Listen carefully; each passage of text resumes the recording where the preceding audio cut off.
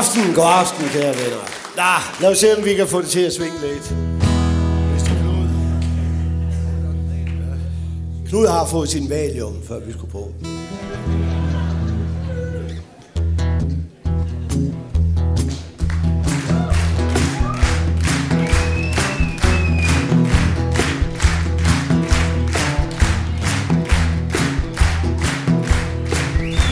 Vi sejlede i nat fra Tahiti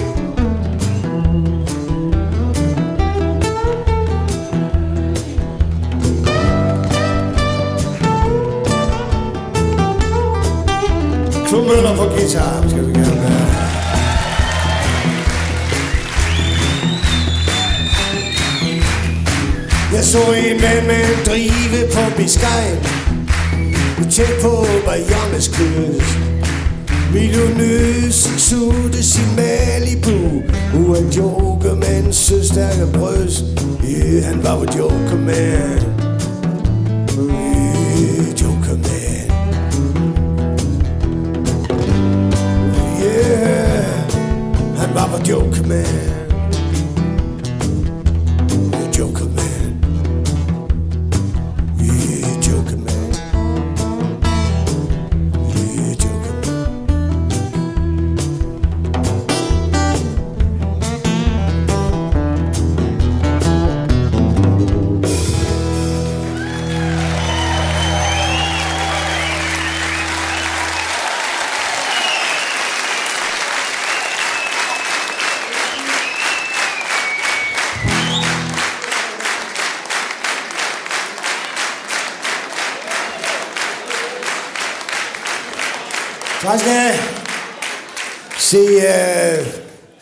oprindeligt kommer jeg jo fra Tyborgen.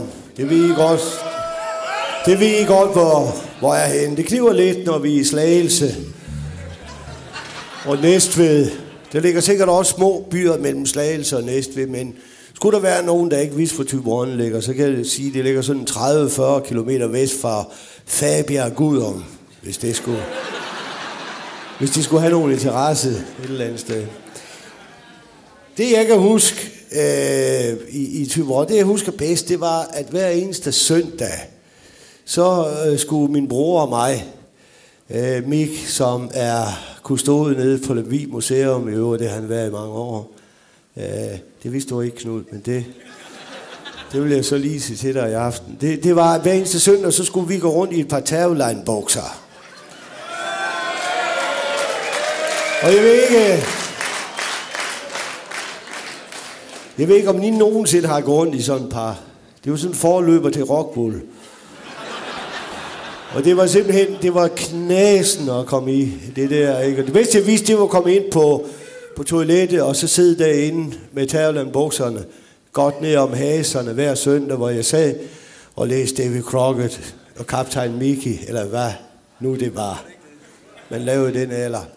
I øvrigt så tror jeg, at øh, jeg tror faktisk, at Skive Teater er, er jeg, jeg tror, det bygger op af rockbull et eller andet sted. Altså det, det, der er et eller andet. Jeg kan mærke det. Det er til stede i aften i hvert fald. Sådan er det. Sådan er det, Knud. Det er meget skægt, fordi nu har jeg, Knud og mig, vi har jo siddet sammen side by side i, i, i, i lang tid. Og, og Knud er så utrolig stolt af sit hår. Jeg forstår bare ikke, hvorfor han ikke går med det.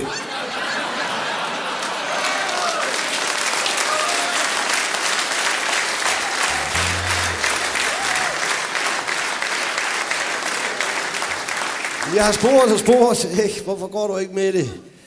Der må man sige, From, der har vi jo et helt anderledes problem. Et eller andet sted.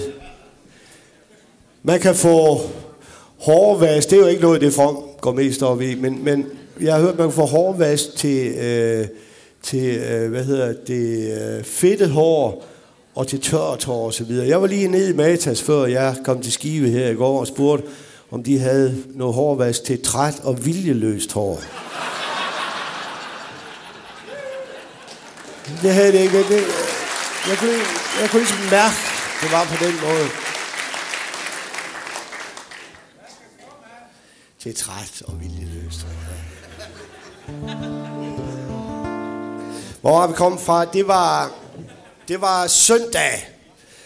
Så skulle vi ud og, og køre i Popular. Vi havde sådan en gammel Popular, som man kunne dreje op. Så gammel er vi, Knud. Det var fra den tid, hvor Popularen øh, var der. Jeg kan huske, min far han ønskede sig så brændende dengang en øh, Mitsubishi, men det kunne mor ikke sige med sine nye tænder, så vi fik en sap.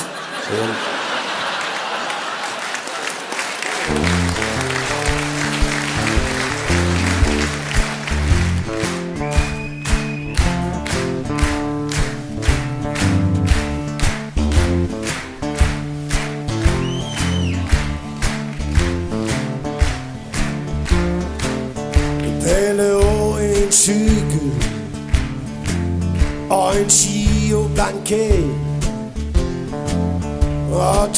Tomme hansa og en weekendtest og en svitser, der venter og et postkort fra Paris. Og en halv liter sød og en gummigris. Og det er søndag.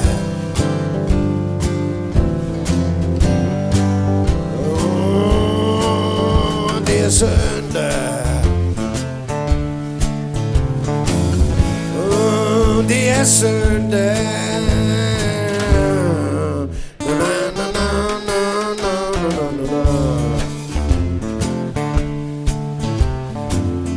Og Operette fra München. Eller Arne Honoré. Og skal man græde? Øh skal man lide. Og se et træ og stadion En mulighed. Og den friske luft. Og det er søndag.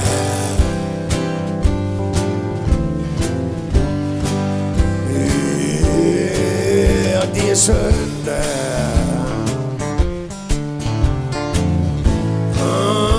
Søndag posten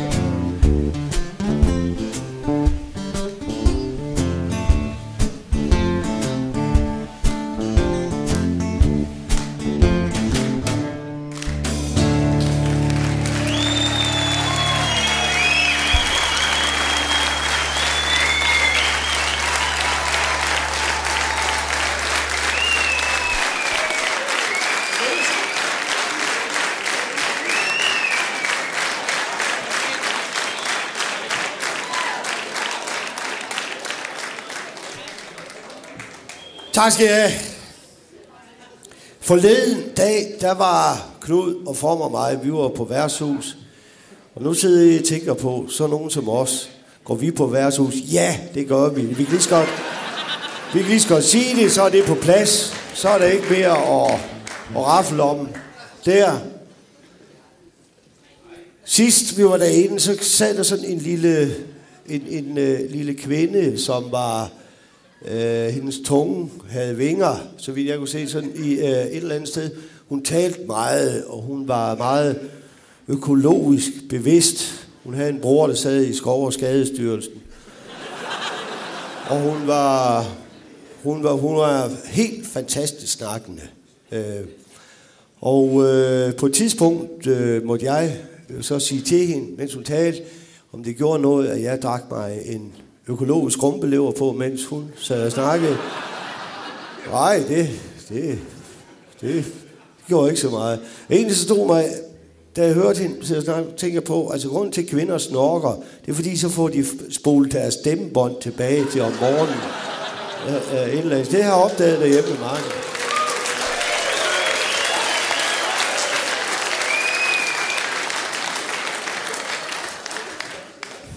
I øvrigt vil jeg sige, at jeg foretrækker yngre kvinder, fordi deres livshistorie er kortere at sidde og høre på.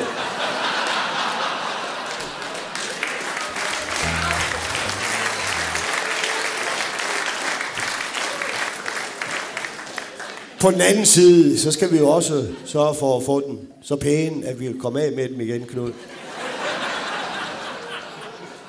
Og der har vi jo, der har vi jo godt stillet. Ja, det var ikke længe, Knud. Men det skal ikke, det er jo, Knud kommer jo fra en meget, meget pæn øh, familie. Han er jo ud af Bergamotte-slægten.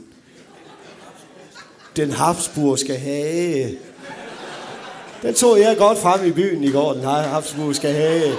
Jeg ved ikke, hvordan den var kommet ind uden en træ. Øh, jeg ved ikke, det var den.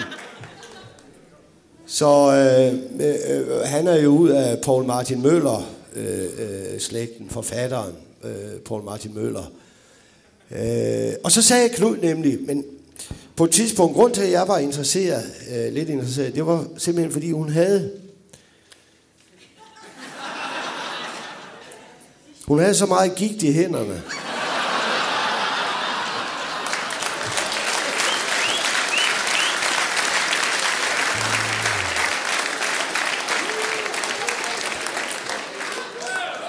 At hun ikke var i stand til at betale bare regning. Jeg tror, det var sådan, jeg tror, det var sådan, det var øh, et eller andet sted. Og så siger Knud det, ud af den pæne slægt, og jeg troede ikke, det skulle komme ud af din mund, Knud. Så siger jeg, det er, det er en type, øh, altså jeg var sikker på, altså hvis hun spredte benene, så gik oliefyret i gang, så kold var hun. Det var Knud, der sagde det, piger.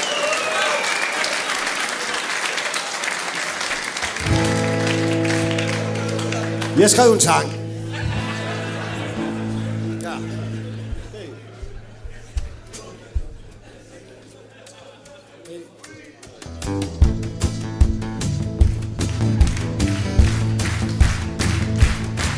Det er en udsøgt stor fornøjelse at byde til fest på Grand Hotel. Noahs ark ligger til ved havn. Ni fingre blander kortene, tag selv lykkepillerne med. Og bottleren tager jeg i jeres farve Der vindes livsanskuelser på rækker, for bladen den er fuld.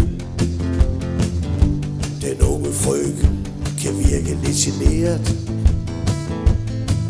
Pas på med de blanke sider, Toilettet er lavet af guld. Jeg skærer kagen for Og stepper lidt til dessert. Velkommen til Grand Hotel Grand menu. Bandet spiller nærmere Gud til dig. Tag bare døren med. Trompet, kalder til fest kan evigt svinge med en død kat Under armen præst. My fair ladies budskab var tydeligere. Meget, meget tydeligere. Hun var shined op fra top til tå. Uh, Der var en, der sang om næste kærlighed. Han faldt død om mit rosenbed det store tag selvbord var det sidste hun så.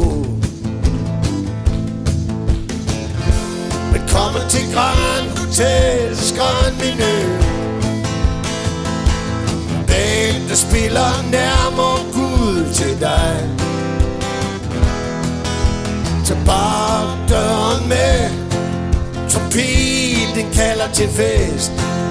Man kan ikke svinge med en død kat Hun har præst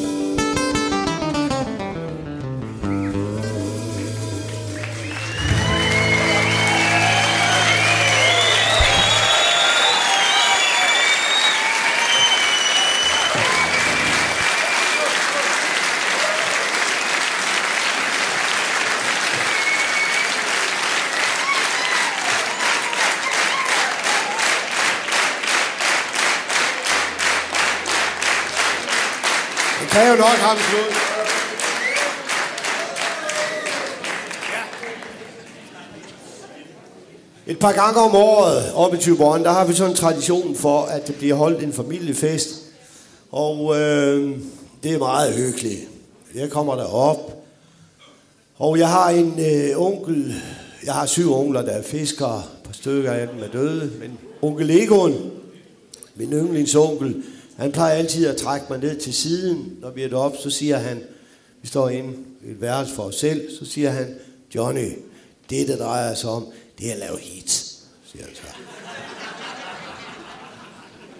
Og min onkel Egon, han er altså tatoveret fra struben af og, og ned. Han har sådan 60-70 tatoveringer. Jeg ved ikke, om de er talt op, og Moster Lille har talt dem op endnu, men der, der er en del i hvert fald. Og jeg siger, at Onslow er intet ved siden af min. Intet ved siden af min onkel Egon.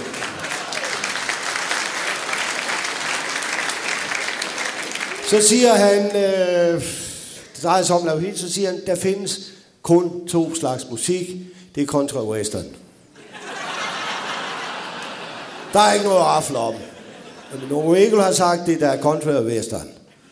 Og så nævner han så sine store øh, countrystjärna Det er naturligvis Preben Kås og Jørgen Ry. og så får jeg langt foredrag i, øh, at rockmusikken har ikke været sig selv siden Stig Lommer han døde. Men okay, den, øh, det, det er altid hyggeligt at snakke med min onkel Leo. Når jeg så kommer lidt uden for, uden for bordplanen ned og besøger ham en enkelt gang om året, så skal man lige spørge til det. Sidst jeg var nede, der han lavede noget hjemmebrændt.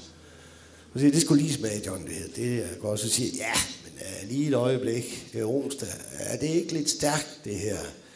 Ah, stærk og stærk. Hvad går der, siger han. Der går tre slagsmål på en liter. Stærkere. Stærkere det som det ikke, siger han.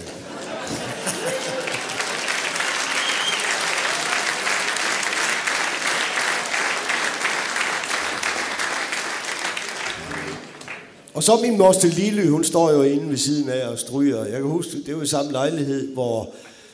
hvor øh, nu skal jeg lige spørge jer en ting, Øh, Pia. Nu generer Knud jeg jo før med den der med oliefyr Knud. Det var ikke... Det var ikke fint. Er det normalt, at man stryger en BH? Er det rigtigt? Det er ikke normalt.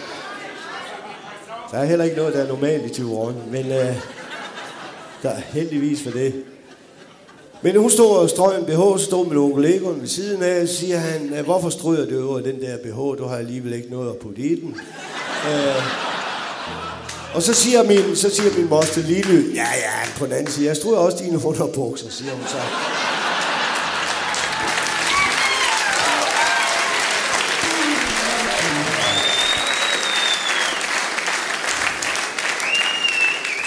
Så, øh, så går de og hygger sig med hinanden. Hun siger, der er ikke meget liv i ham mere. Nu, de har en vandseng derhjemme. Alle folk i Tyborn har en vandseng. Hvem skulle ellers have en vandseng, hvis de ikke skulle have en i Tyborn, jeg mener. Så hun har kaldt vandsengen op. Hun siger til onkel Leo, ved du hvad, nu døber jeg den her vandseng. Den kalder hun for det døde hav. Og så, og så er det simpelthen. Moster Lille er min gudmor, når jeg kommer til at tænke på det. Ja, hun. Så det er hende, der har ansvaret for mig. Nå. Så er det her.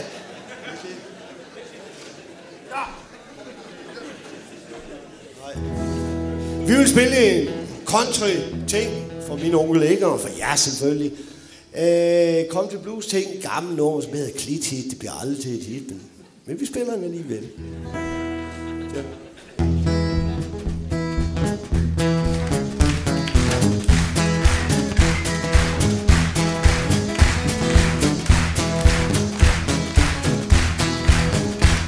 Når du mangler de pensel, man har det godt papir.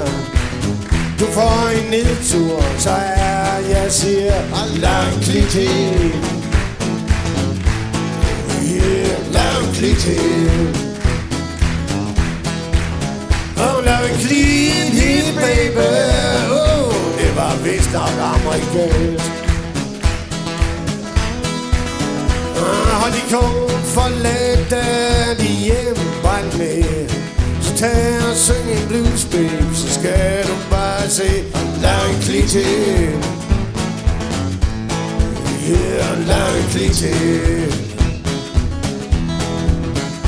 Lav en baby. Uh, det var vist nok amerikansk Spil en konto solo, Mr. Klubber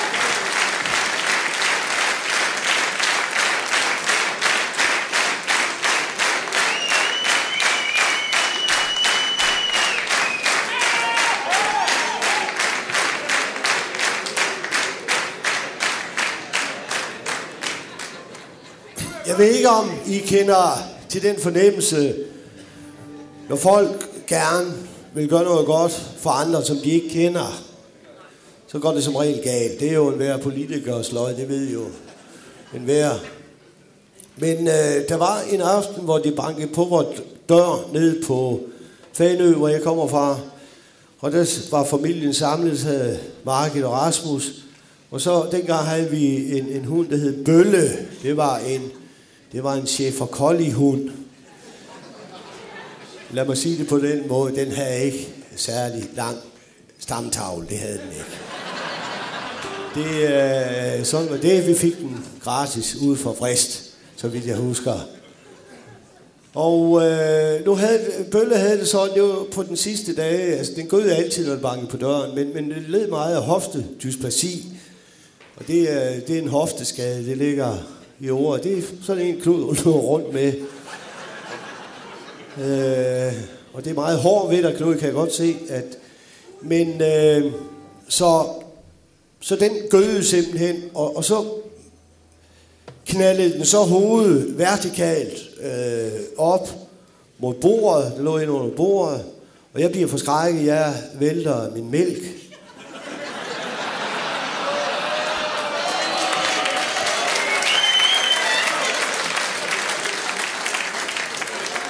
Ud over hele bordet. Jeg kan ikke huske, hvorvidt det var skummet mælk, eller, eller hvad det var. Men hvidt var det i hvert fald. Og øh, inden jeg har forset mig om, så, øh, så sagde markedet også, jamen det er det sædvanlige med dig, du gider heller aldrig luft den der hund. Og så øh, i løbet af, af et halvt minut, så var hele familien i opløsning simpelthen. Og så blev jeg hissig, så løb jeg op for bordet, og så løb ud til døren og åbnede døren. Og derude stod den lille spejderpige, og hun siger så, kan jeg gøre en god gerning? sagde hun. Ja, det skal jeg da love for. Nogen er lige nået at splitte en familie af i løbet af... Og der var det nemlig, at, at jeg kom til at tænke på, at hvis man ser et lys for enden af tunnelen, så kan det godt være et modkørende tog. Ja.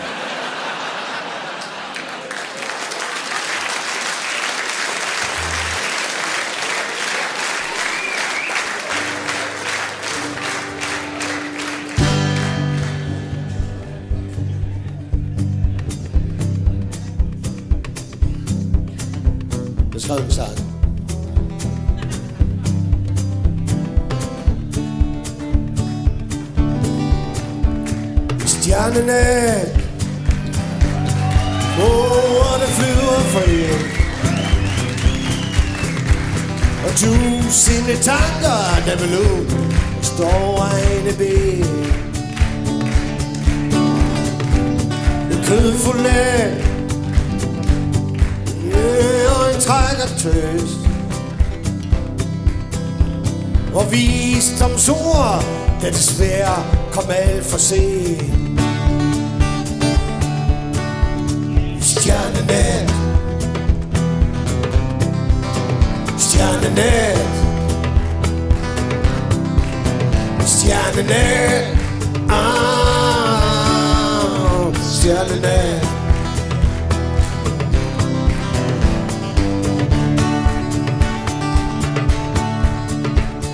vinderne. Og lys fra et farme fjeld. Og lyden af lidt tungsind Der glider forbi. Et himmeltegn Og månelys Den gyldne horn Spiller den, der forbi. Stjernenat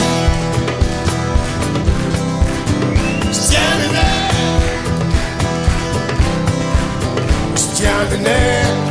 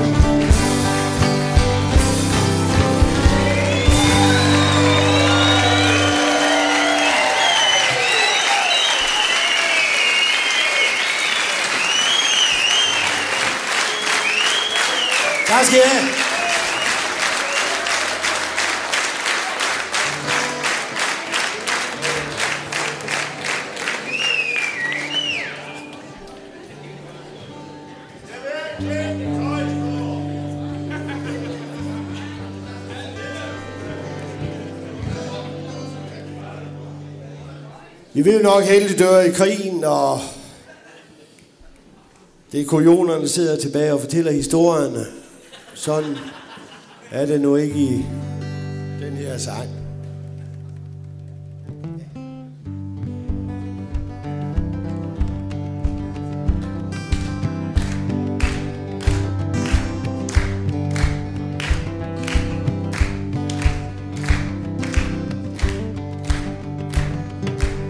Flamme lyser himlen op. Den varmer en tiggers krop. I stedet står der en dør på klem. Det kunne han se på vejen hjem.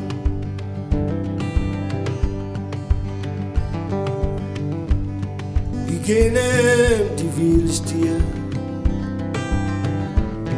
Der så han i kirkespir Hvor lyset det pegede lige frem. Det kunne han se på vejen.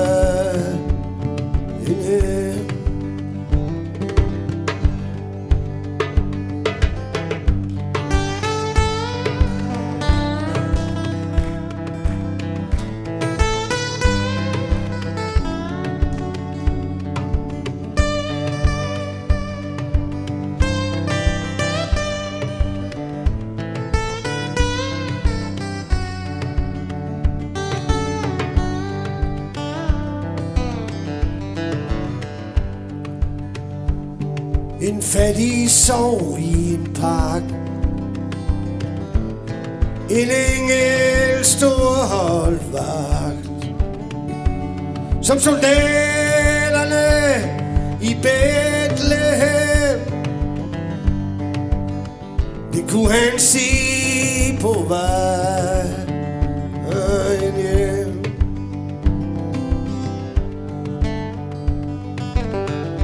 Og sneen den faldt og blidt Den lå han i kjole og hvidt. Hans liv havde været et requiem. Det så han først nu på vej.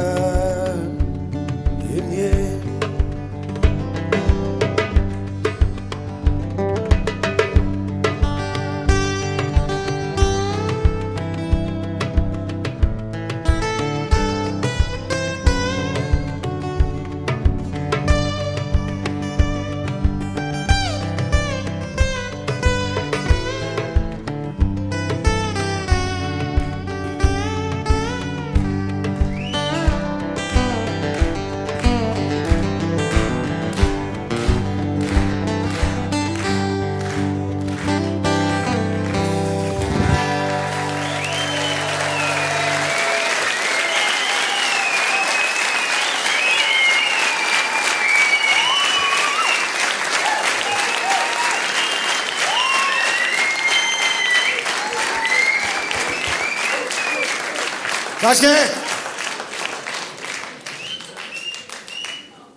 Jeg kunne ikke lade være med at tage min gamle banjo med. Min gamle banjo.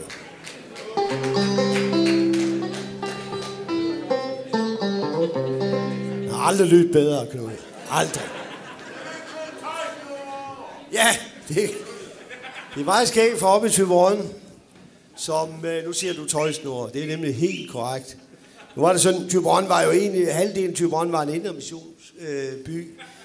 Øh, øh, nu skal vi lige sige, i vores familie, vi er jo ikke os, der læste de 10 bud mest. Det,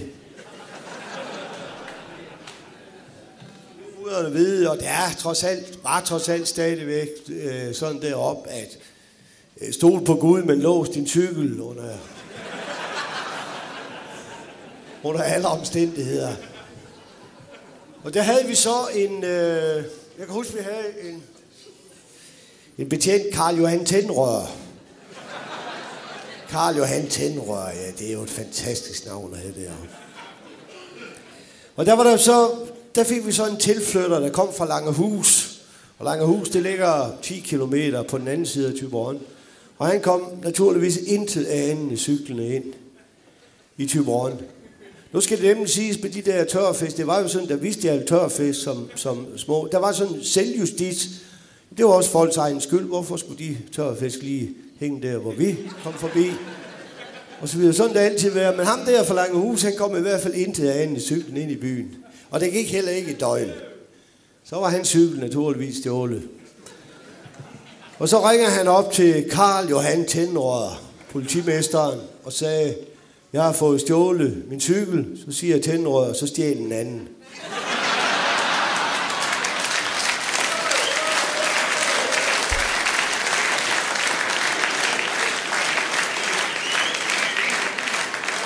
Det gad han ikke at høre på, så enkelt var det. Nå, jeg har taget den her banjo med. Det er jo spillet sådan noget, der hedder Frailing Clawhammer. Frailing Clawhammer som man kan lære i Appalakkerne i USA. Jeg vil sige, de tre bedste amerikanske banjo-spillere har lært den her teknik i Lemvi.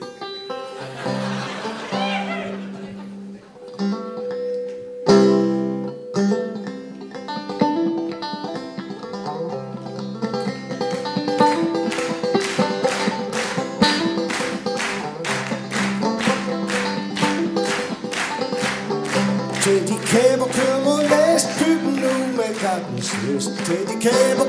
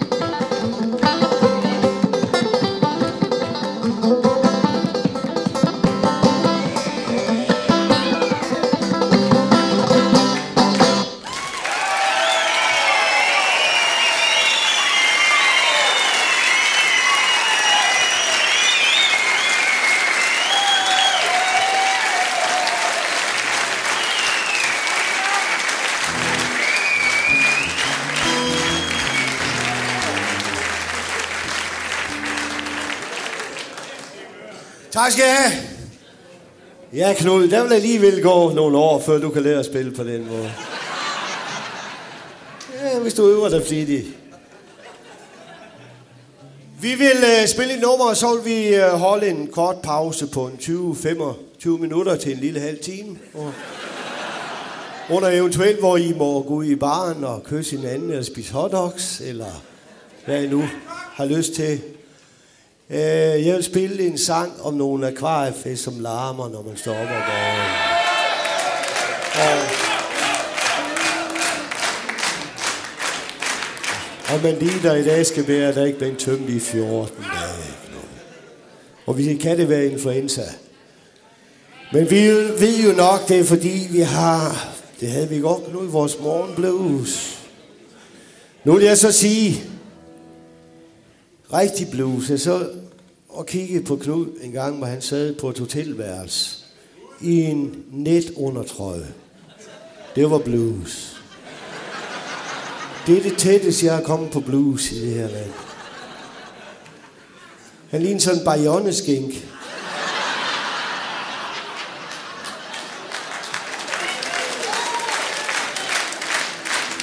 Det var nu ikke... Det er nu ikke på grund af form. Det var mere farven, Knud. Form og farve, ved du nok. Ja. Og der kunne jeg så se, at under de der finmaskede net, som Knud havde på derinde, der kunne jeg se, at rigtige mænd er hvide under patterne.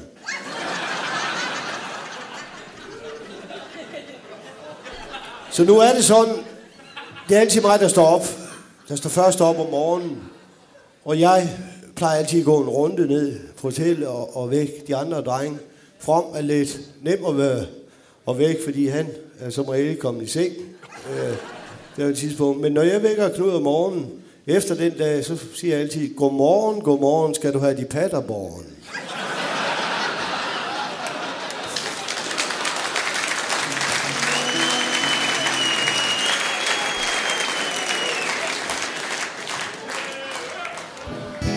Spiller det her nummer, holder vi en kort pause.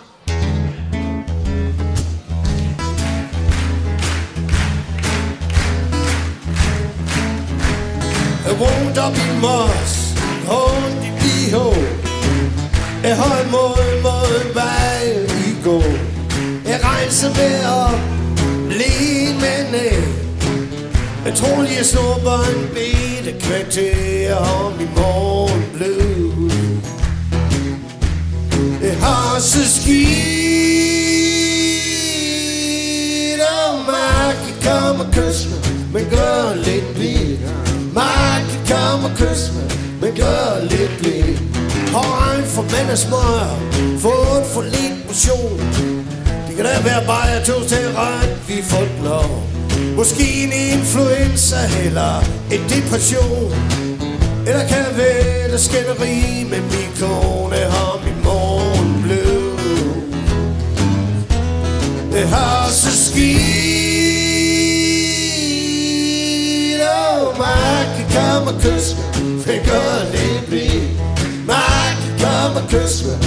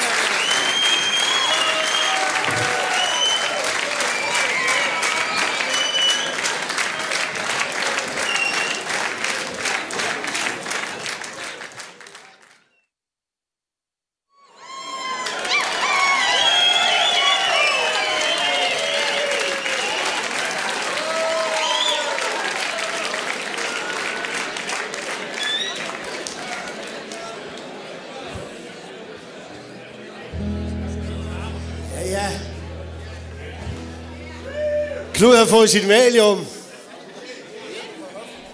Og det hjælper godt på hoftedysplacien, skulle jeg helst sige far. Og Knud, nogle gange føler han sig som en hund, men det vil vi ikke komme ind på.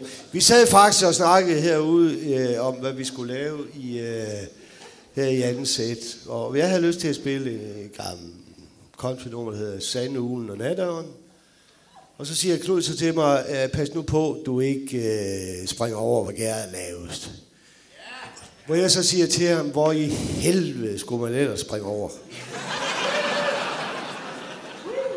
Alt andet har ingen mening. Det vil være fuldstændig vanvittigt at finde det højeste punkt og springe over et eller andet sted. Hvad er det, vi går og bilder hinanden ind? Så øh,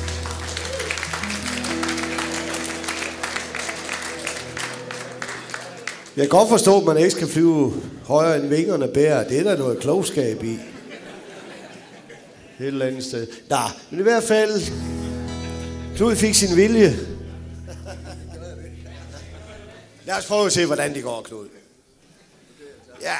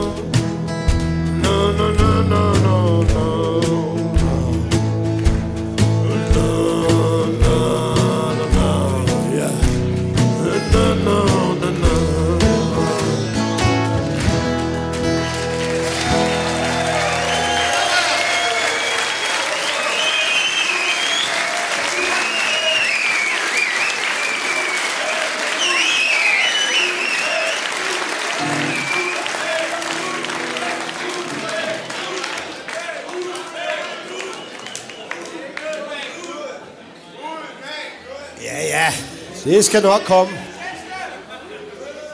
På et eller andet tidspunkt. Nu kan man... Øh, nu kan man... Man kan sige mange ting, men... Øh, med hensyn til dig, Knud, det kan man. Vi sidder og ryger lidt heroppe. De her cigaretter, som som jeg ryger, det er de mildeste, man kan få. Det er nogen, der hedder Grå Savoy. Og det er, det er rent, det er norsk fjelluft. Øh, de, er, de er så sunde, i stedet for løventur, så ryger jeg en af de her, så, så går det op. De er faktisk så milde, jeg har sat min rygning ned fra 20 Cecil til 60 Savoy. Så det er det.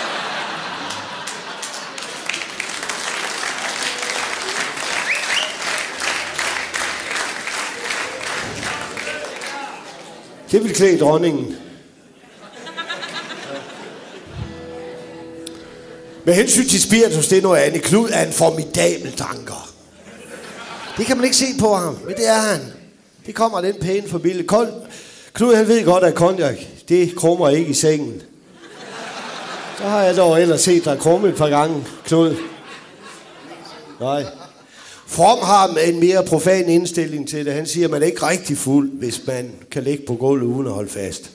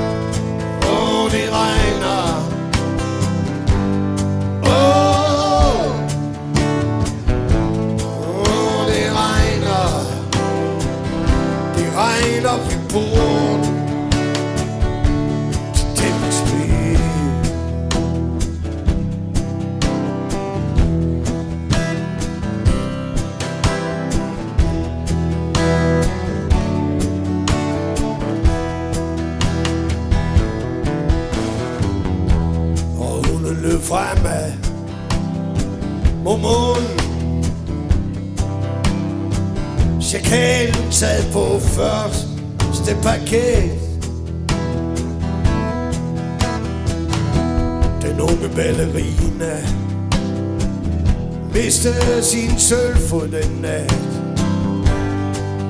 Ved den natvist blomsterbuket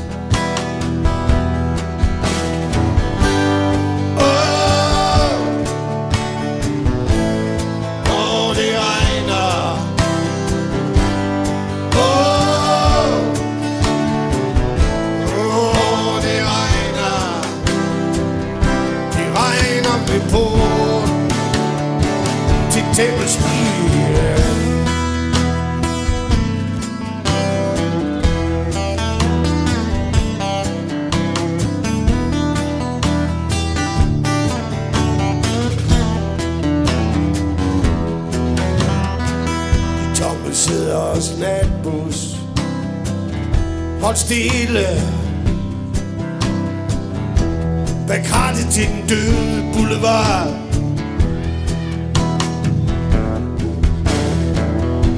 Den gamle trombone Den begyndte at spille. For en solis, Der var langt hjemmefra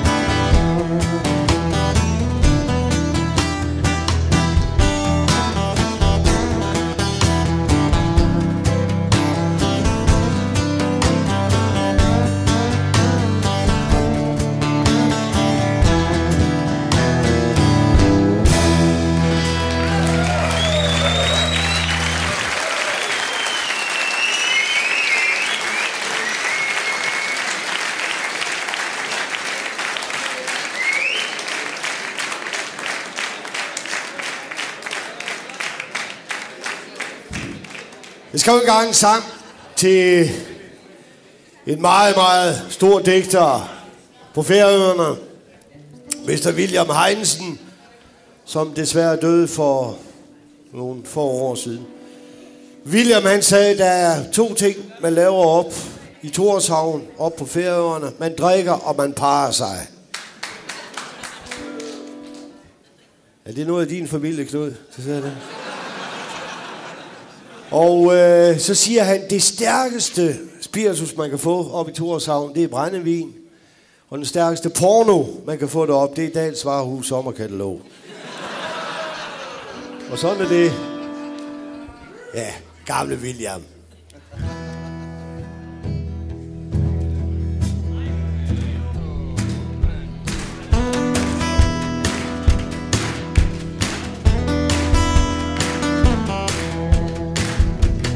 Spiller jo i Memphis. De spiller i Hobro. Spiller satan ind i hans hul. Nede i Mexico.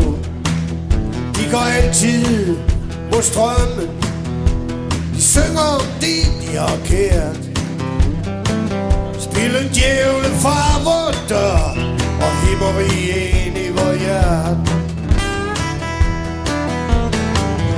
got real heroes. Det er en sang til dem Der krydser de store, store floder Og vender hjem igen. Og William Heinesen på klippen Spiller med den gyldne horn. Tigger med en sydstats blues Fylder hele jorden. Send en hilsen fra Nepal. Syng en sang fra Hong Kong. Spil en salme over store stemmer. Vi ses så langt. De er the real heroes? Det er en sang til dem Der krydser de store, store floder Og vender hjem igen.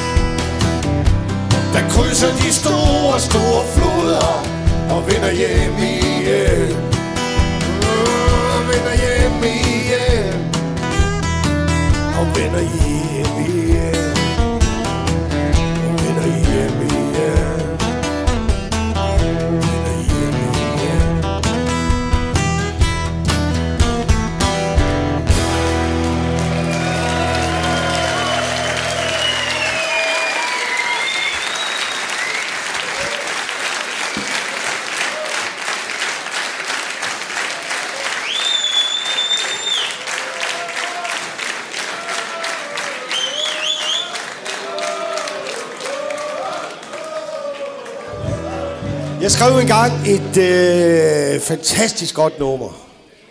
Noget af det bedste, jeg nogensinde har lavet.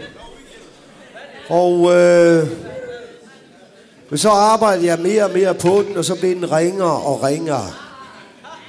Og til sidst så endte det med at, at blive øh, noget møg simpelthen. Det er faktisk noget af det ringeste, jeg nogensinde har lavet. Det siger en del. Øh, men jeg tænkte, den skal ud alligevel et eller andet sted. Der findes et sprog, som hedder Esperanto-sprog. Det er et sprog, som kunstnere overalt på jorden kan tale med hinanden. Jeg kan det, Knud kan det ikke. Øh, og øh, du kan huske, når vi er inde, hvad er det hedder, backstage, når vi er ude at spille på festivaler backstage, ja. Der står musikerne derinde, og de er så kloge. Og de står og snakker og så videre, og det er meget svært og forstå, hvad de siger, så derfor lavede jeg et, et sprog, som jeg kalder for Desperado-sproget. Som er en fuldstændig uforståelig sprog, som ikke forstås af nogen som helst. Heller ikke det her orkester. Men grunden til, at vi spiller det her nummer, det er, fordi vi skal have vores trommeslager Henrik From til at synge for os. Må jeg have lov at præsentere Henrik From?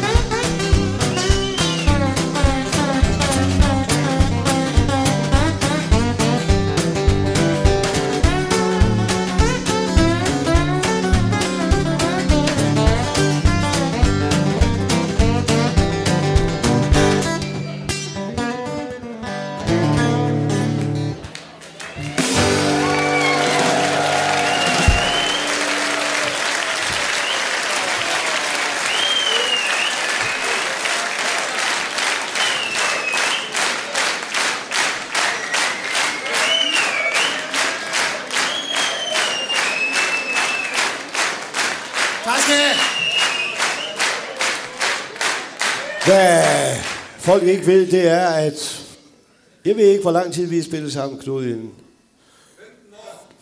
15 år. Har vi det? Knud må også til, at snart skal han lønforhold et eller andet sted, kan der. Men det hører han dagligt, for den. han tror ikke på det. Bliv ved med det, Knud. Øvrigt. Bliv ved med det. Men øh, hver eneste år, så trækker vi løg om, hvem der skal spille single i det her orkester. Og øh, Knud, han er sjov nok vundet i 15 år. Jeg tror, han snyder ham, Knud, et eller andet. Jeg har engang spillet Ludo med ham. Han forsøgte at sælge mig Rådhuspladsen. Så. På et eller andet tidspunkt.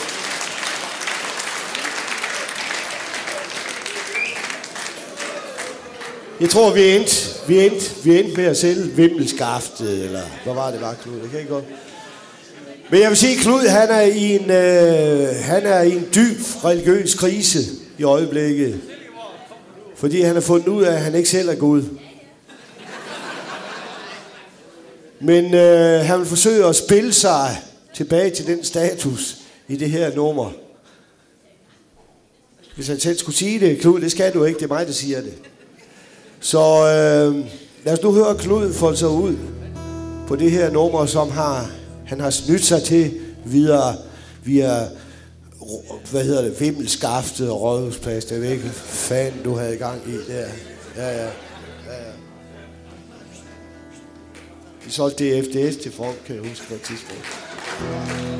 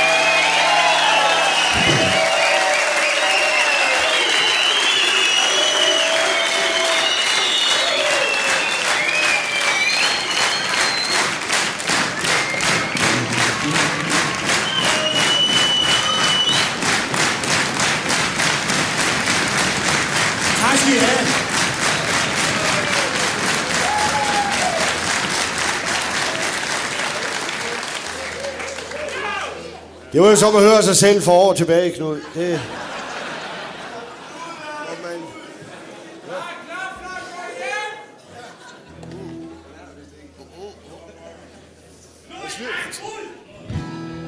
Ja, nej. Men han er ikke så langt fra ham.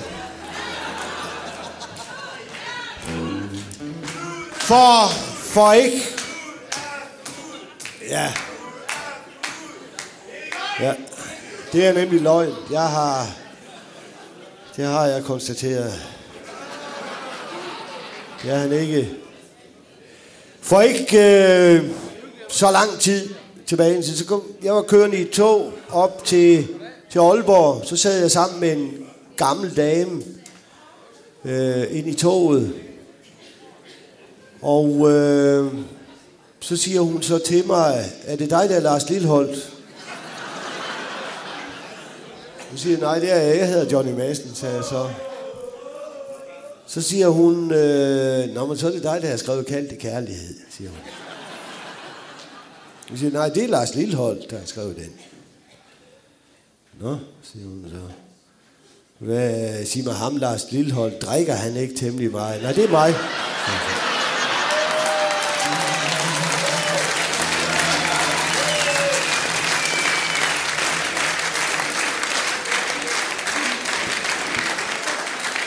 Vi skal have en gammel sang, det er lørdag, og vi er, vi er skive, og pigen og trompeten kalder for ham.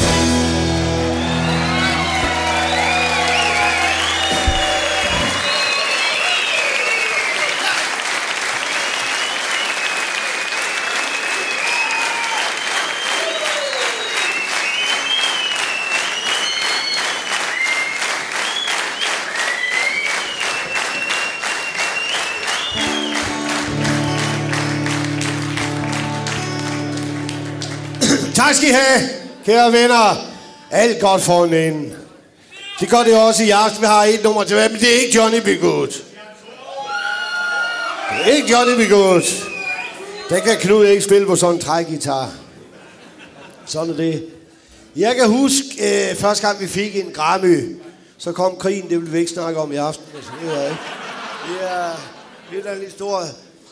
Men der spillede vi sammen med øh, Peter Belli og Nana og øh, Billy Cross, kan jeg huske, var med også. Kai Holm var ikke med. Bo Lutzen stod i kulisserne, kan jeg huske. Øh, hun ville gerne ind som kor, men, men øh, vi ville gerne have haft Peter Belli med i aften til at synge her, men han sidder lige over bag ved og spiller bankospil sammen med jeres borg, borgmester, Per Jeppesen. Og det sidste, jeg har hørt, det var, at øh, Peter Belli kom foran 1-0, men Per Jeppesen, han udlignede sådan... Nu kender jeg ikke så meget til bankospil, men der står vist 1-1 derude. Derude et eller andet sted. Vi kunne ikke få Peter Belli med ind, men så har vi da Knud på kor. Det er da også udmærket, er det ikke?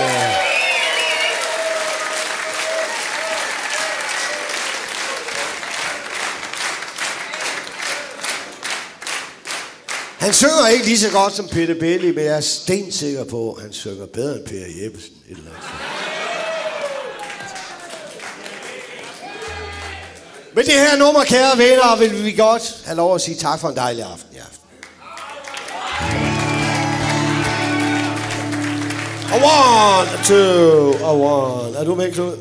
A one. Hey.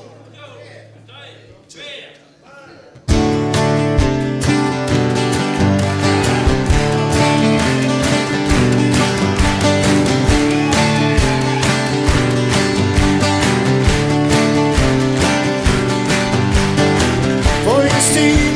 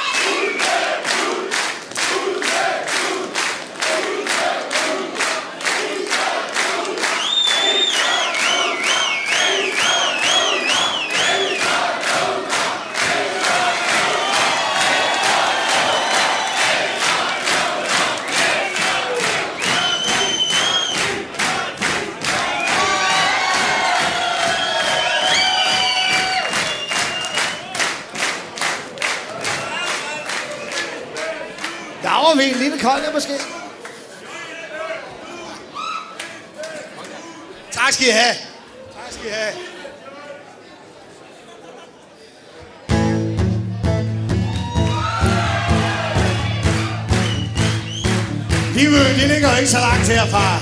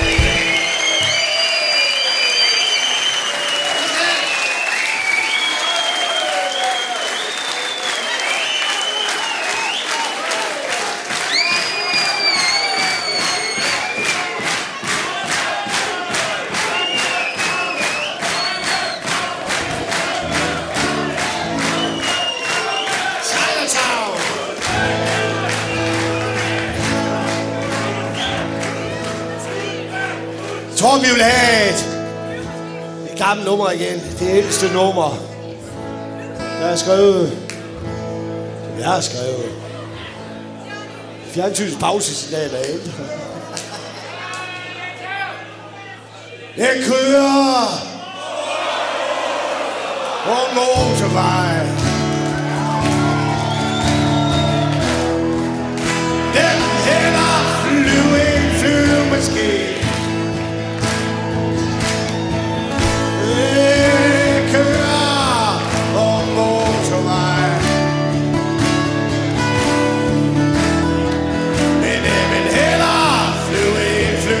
Flyvemaskine. Der behøver vi kan tekste med. Øh,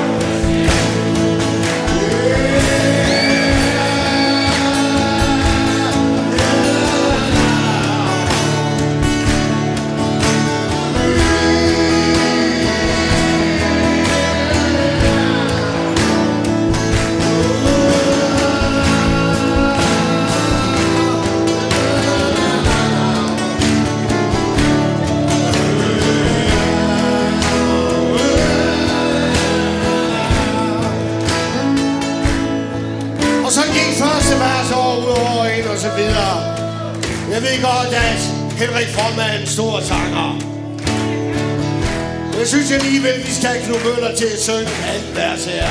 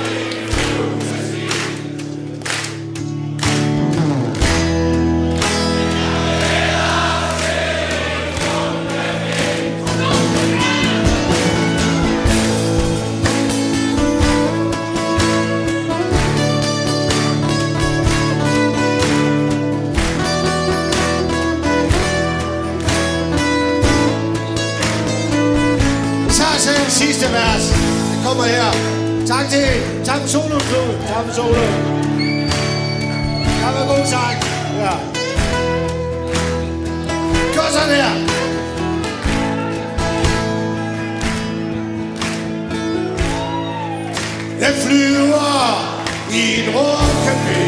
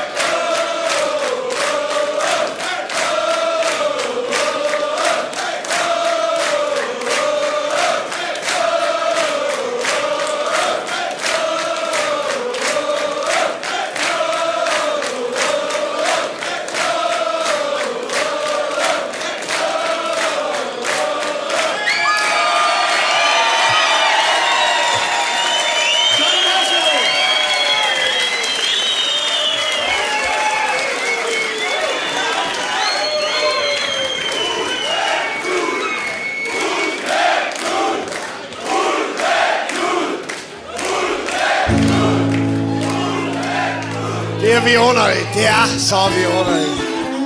Oh, ja. Lad os se, om så vi kan spille Johnny B. Good på et par trækgitarer som det her.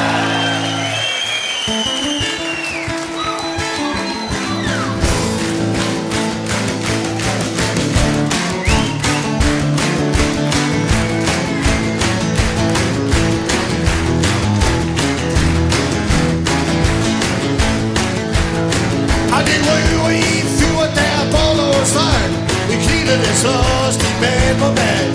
Det er skænderier om hvem der er bedst. Tieren og ellers mange gange søs Der er ingen mand for at hæste mig fejl. Det er en bokse, så på det kaj